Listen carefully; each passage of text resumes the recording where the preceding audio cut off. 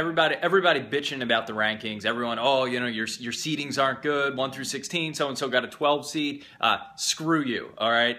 Out of 32 first round matchups, with the exception of the 8 9 games, there was only one one upset, and it was a 10 7 game between Zumhofe and Ter- Terrien, who was probably seeded a little higher than he should have been. One out of 32 was there an upset. So everyone's bitching about the seeds. Oh, this is a shitty seed. This guy's too high. Whatever. Chalk all the way. Look at your real bracket. Go ahead, look at it. How much chalk you got on there? Not a lot, right? Right? A lot of upsets. The real committee, they know nothing, right? We got it all. One wrong, all right? Eat me you're going to stew in it for the weekend. Second round voting begins on Monday now, not today. Eat it.